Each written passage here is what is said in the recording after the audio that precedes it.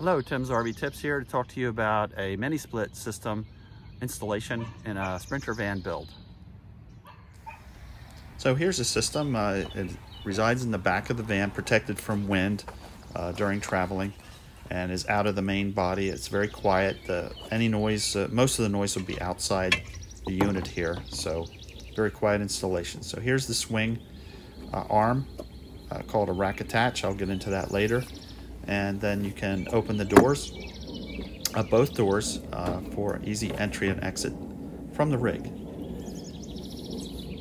Now here uh, is the unit that I bought, the Mitsubishi, a SEER 33, a double or triple uh, some of the other ones. Uh, here's the Rakattach, uh, 359 pretty expensive, but they shipped it pretty fast from 1Up USA. Uh, I was surprised these are rare. These are hard to find, the ones that swing on the driver's side.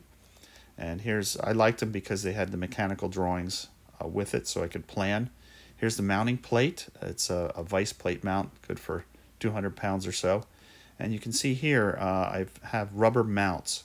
So I have the vice plate attached to some heavy duty aluminum brackets and then uh, attached to these rubber mounts uh, to isolate the vibration.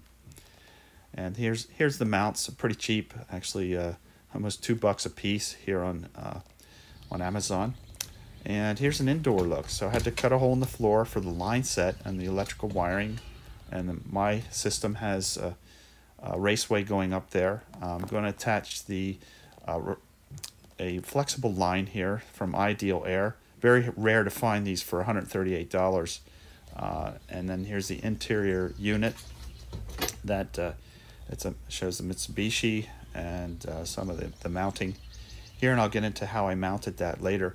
But it has just enough room to operate in the van. Uh, the air inlet there, and uh, going over to the uh, the wiring and, and ducting um, uh, there in the van. Uh, so here it is mounted. That little knob on the right is a infrared sensor that scans the room. This is the mounting plate. Um, mounted that uh, directly to the metal of the van. Here's how you remove the corners of it. And I had to reverse the drain line, the condensate drain line, as you can see here, removed easily. Uh, and I, I switched it here. I'll show you how. I removed the plug. There's a rubber plug on one side and it's switched to the other side. Now I may end up hooking both of these up, but uh, the rubber plugs, you know, you can plug one side or the other but I'll probably end up um, using both condensate lines uh, because of the leveling of the van. Here's the electrical outlet, uh, electrical connections with that, which I have not done yet. So please subscribe. Thanks for watching this, and if you have any comments, I'm in the process of the build. See ya.